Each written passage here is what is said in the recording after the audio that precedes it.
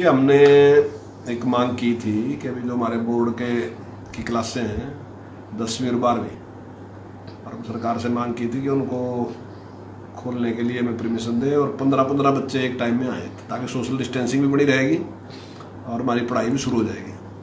अब ये तो ठीक है कि क्लासें उस प्रकार से तो नहीं लग सकती थी कि छः के छः दिन क्लास लग जाए, पर छः में तीन दिन कुछ बच्चों की, तीन दिन कुछ बच्चों कुछ ना उसमें होने का की संभावना थी। और जो ऑनलाइन पढ़ाई कर रहे हैं, उसमें भी काफ़ी कुछ जानने का बच्चों को अवसर मिल सकता है उसमें कि अगर वो कुछ शंकाएँ हैं उनकी तो वो अपने टीचर से पूछ सकते हैं। लेकिन इस पर निर्णय जो लेना, वो केंद्र सरकार लेना और जो इससे विशेषज्ञ हैं, वही अपनी राय देंगे। तो जैसे ही वहाँ से परमिशन मिलेगी तो हमारी पूरी तैयारी है तो हम क्लासेस शुरू कर देंगे तो सर, ऐसा भी कहा जा रहा है कि पंद्रह जुलाई से सरकार ने प्रस्ताव रखा कि पंद्रह जुलाई से स्कूल खोले जाएँगे। नहीं, देखिए, हमारा प्रस्ताव है कि हम खोलने के लिए तैयार हैं, लेकिन परिस्थितियों को देख के ही सारा संभव है। जैसे केंद्र सरकार अब परमिशन देगी उसी हिसाब से।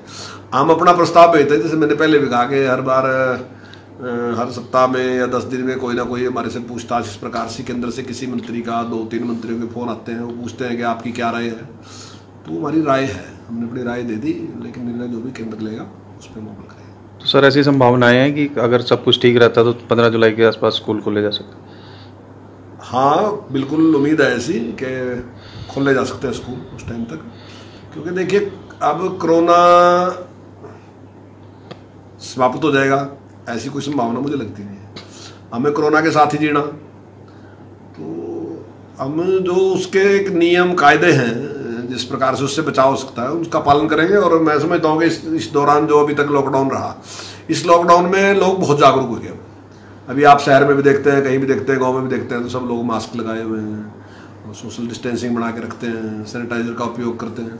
तो एक जागरूकता बढ़ी है तो जो जागरूकता बढ़ी है ना तो मुझे पूरी उम्मीद है कि इसमें हम मतलब जीत के निकलेंगे।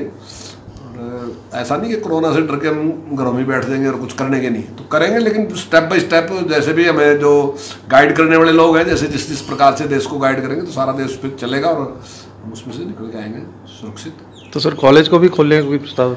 हाँ बिल्कुल, कॉलेज का खोलने का भी हमने निर्णय लिया और अब जल्दी उसकी भी करेंगे, लेकिन जैसे जैसे परमिशन मिलेगी, हमारा विचार है उसको भी खोल लेगा। और यूजीसी की गाइडलाइन भी उसमें आई है कुछ।